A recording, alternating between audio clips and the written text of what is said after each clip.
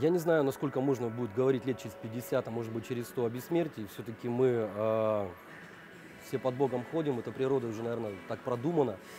Э, мне кажется, это вопрос нереальный. Но э, что касается современных технологий, медицинских технологий, там, по выращиванию органов и так далее, я скажу, что не может быть никакой, наверное, э, морально-этической э, точки зрения относительно э, современной науки с точки зрения спасения жизни человека.